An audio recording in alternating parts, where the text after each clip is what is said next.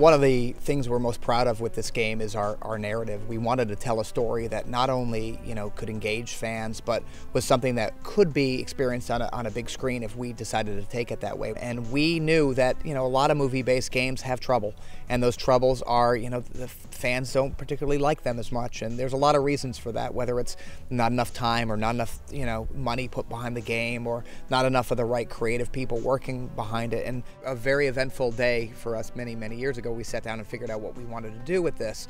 And one of the first things, obviously, you talk about is what kind of game do you want to make? Do you want to make a strategy game? You want to make an RPG? And for us, it always came down to Kirk and Spock. That Star Trek's always been about these two guys. It's been, you know, the two halves of our own our, our own personality, whether we're, you know, the logical type or we're just sort of the rogue cowboy who runs in and doesn't think about things. And that really has inspired every decision we've made on the game. We wanted to make a co-op game. We wanted to make a third-person, you know, shooter because we wanted you to be able to see and feel Kirk and Spock. We didn't want you to see it through their eyes because then you wouldn't get the experience of seeing these amazing actors deliver their roles. And we weren't going to make this game unless we had the cast. Not only we had the cast, we had all the cast. So we reached out to everybody early on. We reached out to Chris and to Zach and to Zoe and said, "Hey, we're making this game. Do you want to be a part of it?" And we were shocked at how quickly they responded back. They were like, "Absolutely, we do." Under one condition We'll do it if everybody does it. Mr. Scott, prepare to transport. Aye, aye, sir. Energize.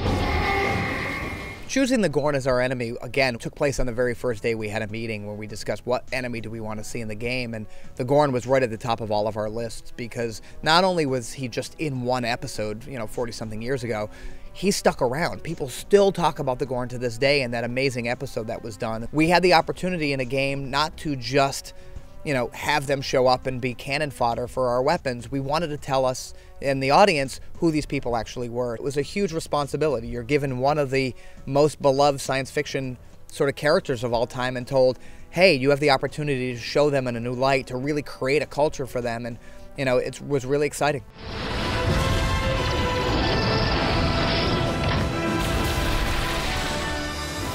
For us, Star Trek is bigger than just a game. It's bigger than just a film. It's a brand that's been with us for over 40 years. It's something that's been very important to us as a studio. And in order to take this great new world, this rebooted world that everybody works so hard to get people to re engage with Star Trek and take it into a gaming space, we knew we had one shot with it.